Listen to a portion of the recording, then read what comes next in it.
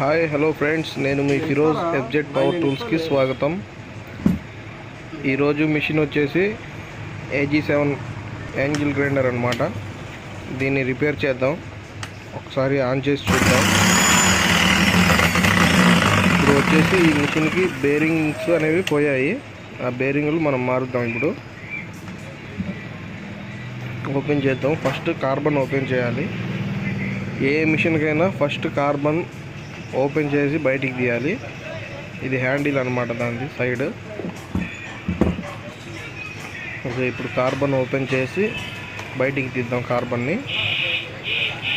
ఇవి వచ్చేసి two sides ఉంటాయి అన్నమాట ఇటు అటు. ఆపోజిట్ ఉంటాయి.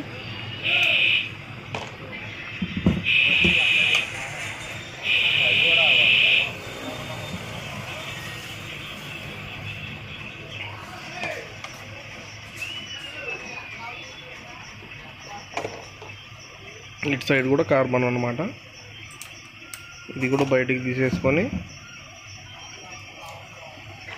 తర్వాత ఆ హెడ్ పైన ఉన్న నాలుగు స్క్రూలు ఇప్పుకోవాలి.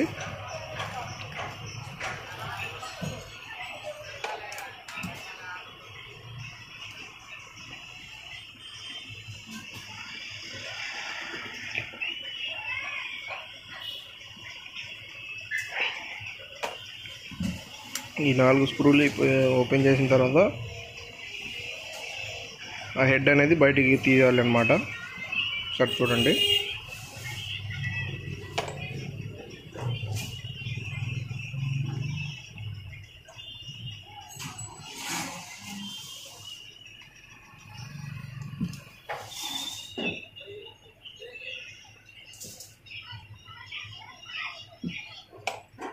ఓకే ఫ్రెండ్స్ ఆ నాలుగు స్క్రూలు అయితే ఓపెన్ చేశాను. బయటికి తీద్దాం ఇది వచ్చేసి ఆర్మిచర్ అనమాట దేంట్లో అయినా ఏ మిషన్లో అయినా మెయిన్ ఫీల్డ్ కాయలు అనేది ఇది ఫీల్డ్ కాయలు అంటారు దీన్ని. ఆ ఫీల్డ్ కాయలు ఈ ఆర్మిచర్ రెండు ఉంటాయన్నమాట. ఏ మిషన్ అయినా మనం గుర్తుపెట్టుకోవాల్సింది ఒకటే మిషన్కి వచ్చేసి ఫీల్డ్ కాయలు ఆర్మిచర్ కామన్ అనమాట ఏది ఏ మిషన్లో అయినా ఉంటాయి. ఇప్పుడు మనం ఆ బేరింగ్ ఓపెన్ చేయాలంటే ఫస్ట్ దాంట్లో గేర్ గేర్ వీల్ అని ఉంటుంది. గేర్ వీల్ ఇప్పుడు చేసుకోవాలన్నమాట. ఇది ఓపెన్ చేస్తే లోపల గేర్ వీల్ ఉంటుంది.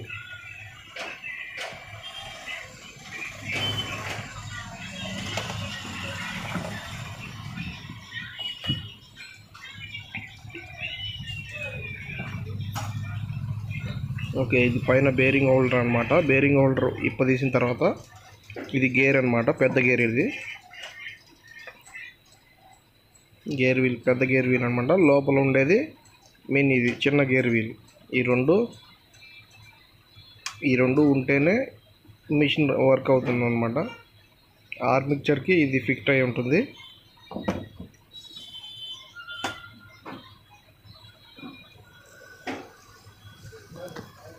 చూడండి ఫ్రెండ్స్ నేను ఇప్పుడు రేంచితో ఇప్పదీస్తాను దీన్ని. మామూలుగా కటింగ్ ప్లేస్తో రావట్లేదు. దీనికి వచ్చేసి పద్నాలుగు పదిహేను రేంజ్ పెట్టి తీయాలన్నమాట. నేను అదే తీస్తున్నాను ఒక్క నిమిషం.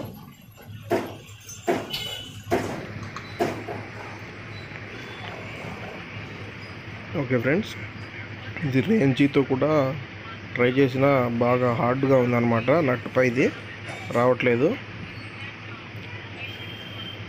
బాగా టైట్గా ఉందన్నమాట.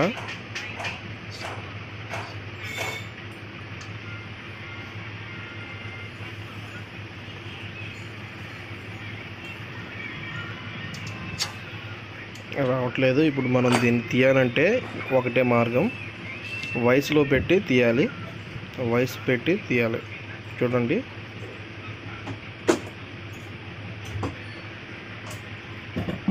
ఇది వయసు అనమాట ఈ వయసులో ఆర్మిచర్ ఫిక్స్ చేసి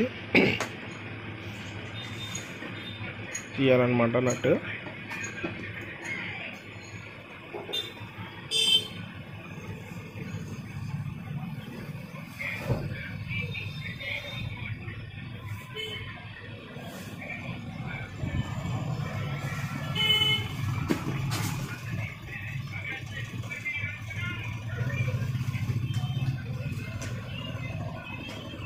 ఫ్రెండ్స్ వయసులో అయితే బిగించాను ఇది బిగించిన తర్వాత పద్నాలుగు పదిహేను రేంజ్ పెట్టి ఆ నట్ తీయాలన్నమాట.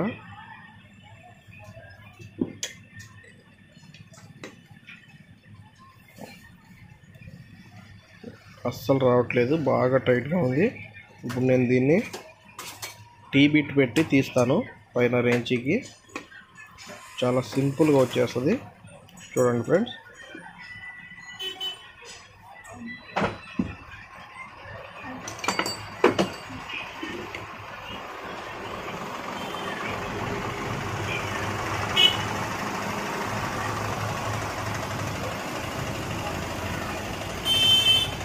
ఓకే ఫ్రెండ్స్ వచ్చేసింది. పైన గేర్ వీల్ అయితే ఇప్పుడు తీసేసుకున్నాం. మన ఛానల్లో వచ్చేసి ఏ మిషన్ వీడియో అయినా నేను అప్లోడ్ చేస్తాను. మీరు నా కామెంట్ రూపంలో తెలియజేయండి. మీకు ఏ మిషన్ రిపేర్ కావాలో తెలియజేయండి. నేను చేసి మీకు వీడియో పెడతాను. మీకు ఏమైనా హెల్ప్ అవుతుందేమో చూస్తాను.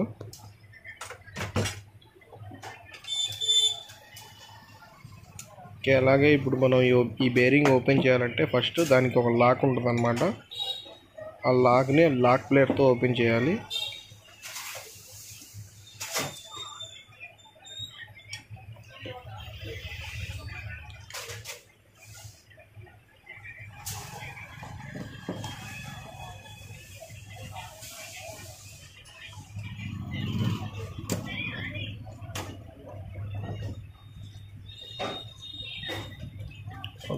ఈ లాక్ అయితే నేను ఓపెన్ చేశాను. లాక్ ప్లేట్తో మీకు దానికి ఆ లాక్ ఓపెన్ చేసిన తర్వాత బేరింగ్ బయటికి తీసేసుకోవాలి అది.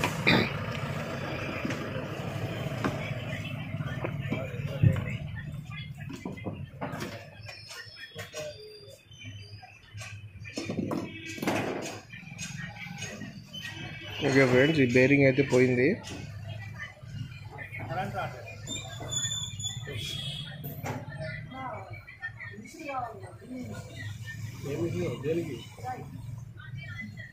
బ్రేకరా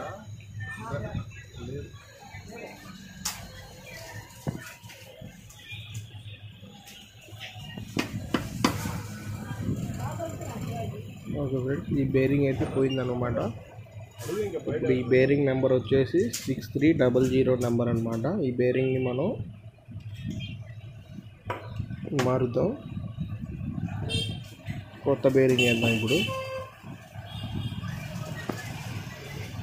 చూడండి ఫ్రెండ్స్ ఈ వీడియో కొద్దిగా లెంత్గా ఉంటుంది కానీ మీకు హెల్ప్ అవుతుంది వీడియో. చూడండి ఏ మిషన్ అయినా మన దగ్గర రిపేర్ అవుతుంది. మీరు కామెంట్ రూపంలో ఏ మిషన్ రిపేర్ చేయాలో చెప్తే మీకు చేసి ఆ వీడియో పెడతారనమాట మన ఛానల్లో చూడండి.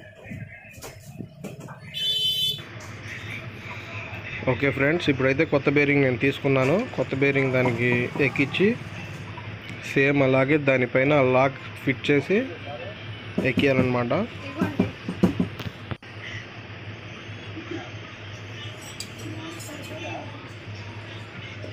చూడండి ఫ్రెండ్స్ ఇప్పుడు లా లాక్ ఎక్కించుకోవాలి మనం. బేరింగ్ ఎక్కించిన తర్వాత.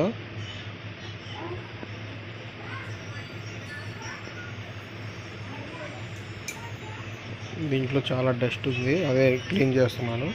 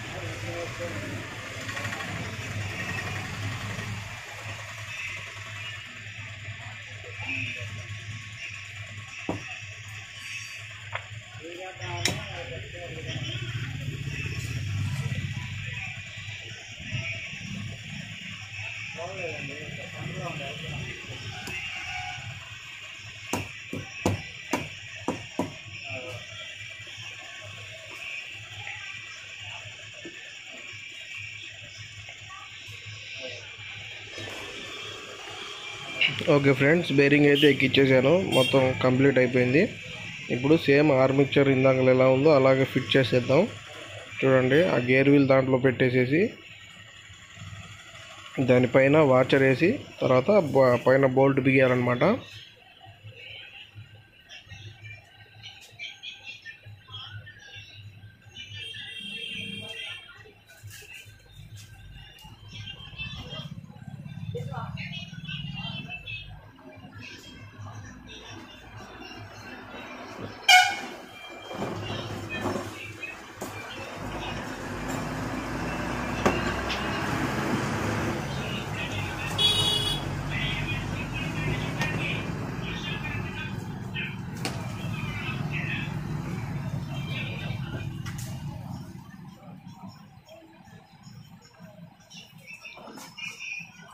ఓకే ఫ్రెండ్స్ ఇప్పుడు దానికి నేను బోల్ట్ పెట్టేసి గే గేర్ వీల్ పెట్టేసి బోల్ట్ పెట్టేసి టైట్ చేస్తున్నాను అనమాట ఫుల్ టైట్గా చేయాలి ఇది. ఎందుకంటే గేర్ వీల్ అనేది ఆర్మిచర్కి బాగా స్పీడ్ తిరుగుతుంది అనమాట ఆర్మిచరు.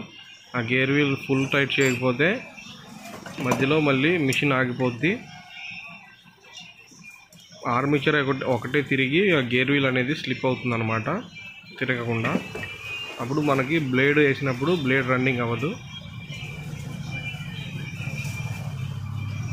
ఓకే ఫ్రెండ్స్ ఇప్పుడైతే బాగుంది. కొత్త బేరింగ్ వేసాము కాబట్టి స్మూత్గా తిరుగుతుంది.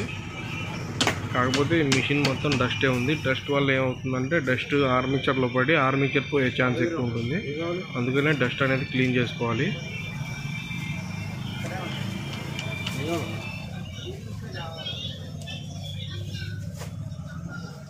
ఇది వచ్చేసి గార్డ్ అనమాట ఫీల్డ్ కాయలకి సేఫ్టీ అన్నమాట లోపల. అరే మీకు? అరే చిన్నది ఉంటుంది.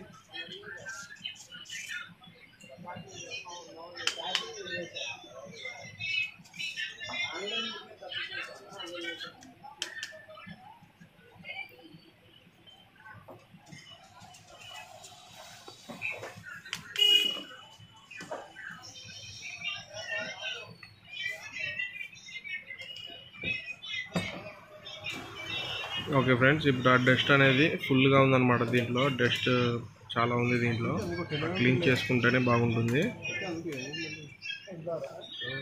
ఎందుకంటే మనం ఇప్పుడు మిషన్ ఇప్పుడు తీసిన తర్వాత డస్ట్ క్లీన్ చేయకపోతే మళ్ళీ ఆర్మిక్చర్కి ప్రాబ్లం అవుతుంది డస్ట్ వల్ల. ఆర్మిక్చర్ పోయే ఛాన్స్ ఎక్కువ ఉంటుంది. అందువల్ల డస్ట్ క్లీన్ చేస్తున్నాను అనమాట చాలా ఉంది దీంట్లో. ఎవరైనా మన ఛానల్ని సబ్స్క్రై సబ్స్క్రైబ్ చేసుకోకపోతే చేసుకోండి ఫ్రెండ్స్. ఇంకా మీకు మంచి మంచి వీడియోలు పెడతాను మన ఛానల్లో. మీకు ఉపయోగపడే వీడియోస్ కూడా ఏమైనా కామెంట్లో ఉంటే చెప్పండి. పెడతాను.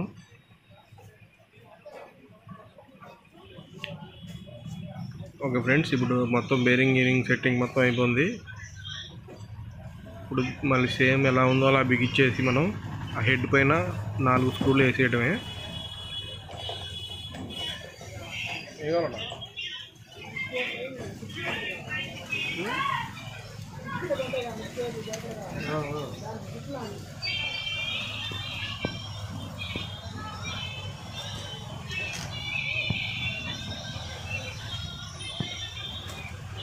జిప్పు లాంటివి ఉన్నాం మన దగ్గర. అవి వస్తాయి కొట్టాయి క్లాత్. అడిగించుకోండి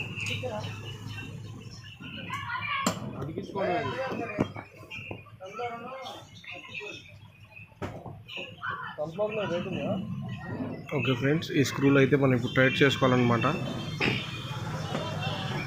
పన్నెండు యాభై ఇరవై ఐదు అరవై? ఇరవై ఐదు అరవై. ఇరవై ఐదు వందలు. ఈ స్క్రూస్ కూడా ఫుల్ టైట్ చేసుకోవాలి. ఎందుకంటే మళ్ళీ రన్నింగ్లో మనం మషిన్ మిషన్ రన్నింగ్ చేసినప్పుడు స్క్రూ లూజ్ అయితే మొత్తం హెడ్ మొత్తం ఊడొస్తుంది అనమాట అందువలన ఏ స్క్రూ అయినా మిస్ చేయకుండా వేయాలి. ఇంకొకటి ఫుల్ ఫుల్ టైట్ చేయాలి స్క్రూ అనేది. ఫుల్ టైట్ చేయకపోతే రన్నింగ్లో వైబ్రేషన్కి జారిపోతుంది అనమాట అలాంటి అలాంటి తప్పు చేయకూడదు అనమాట ఎందుకంటే మిషన్లతో చాలా చాలా జాగ్రత్తగా ఉండాలి. చాలా డేంజర్ అనమాట ఈ మిషన్లో.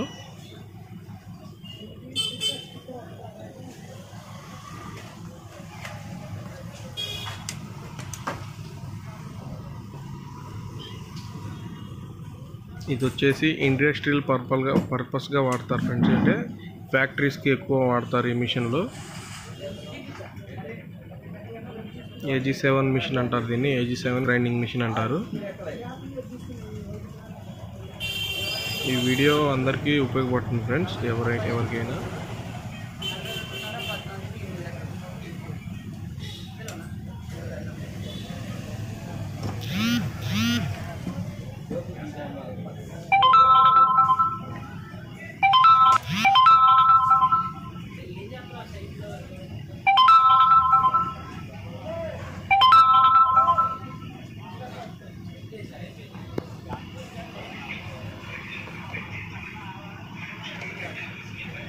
ఓకే ఫ్రెండ్స్ ఇప్పుడు అది బిగించిన తర్వాత మనం పైన బేరింగ్ హోడి సెట్ చేసిన తర్వాత పైన స్క్రూలు వేసుకోవాలి. ఇవి నాలుగు స్క్రూలు వేసుకోవాలి.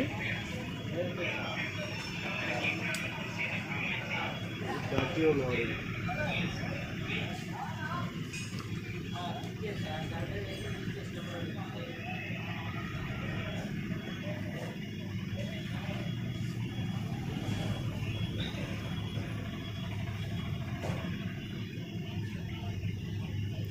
ఇవి స్క్రూస్ వేసేటప్పుడు ఆపోజిట్గా కరెక్ట్గా వేయాలి. ఒక సైడ్ బాగా టైట్ చేసి ఒక సైడు మామూలుగా టైట్ చేస్తే గేర్ వీల్ తిరగదన్నమాట. దాన్ని కరెక్ట్గా సెట్ చేసి స్క్రూ స్క్రూస్ అనేవి బిగించాలన్నమాట.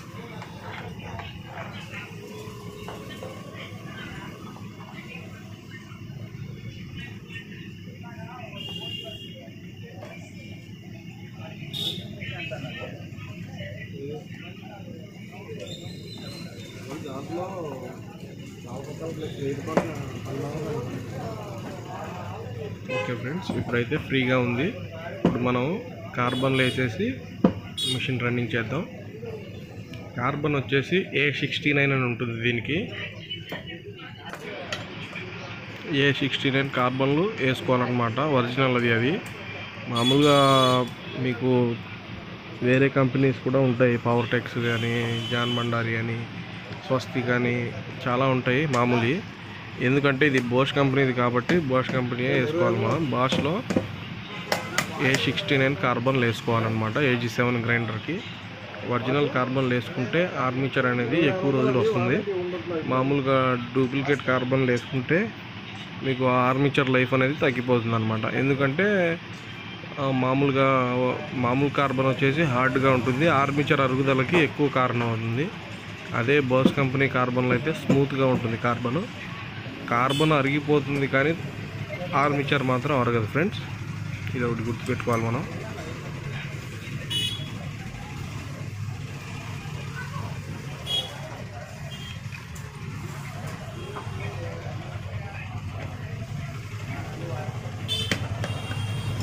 ఏ మిషన్కైనా సరే ఒరిజినల్ కార్బన్సే వాడాలన్నమాట. మామూలు డూప్లికేట్ కార్బన్స్ వాడితే మిషన్ లైఫ్ అనేది తగ్గిపోతుంది. అంటే మిషన్ ఇప్పుడు మామూలుగా మనం ఒక పది రోజులు వాడుకోగలిగితే డూప్లికేట్ మిషన్ వచ్చేసి ఐదు రోజులు వాడుకోవాలన్నమాట మనం. అంటే చెప్తున్నాను అలా ఒరిజినల్ కార్బన్ చేసుకుంటే లైఫ్ ఎక్కువ ఉంటుందన్నమాట. ఒక ఐదు ఐదు ఆరు నెలల దాకా తిరిగి చూసుకోవాల్సిన అవసరం ఉండదు ఒరిజినల్ కార్బన్ వేసుకుంటే. అదే డూప్లికేట్ కార్బన్ అయితే మీకు పదిహేను రోజులకి నెల రోజులకే అయిపోతాయి అన్నమాట ఓకే ఫ్రెండ్స్ మిషన్ అయితే అయిపోయింది మొత్తానికి. ఇప్పుడు ఒకసారి చెక్ చేద్దాం మనం. Okay friends,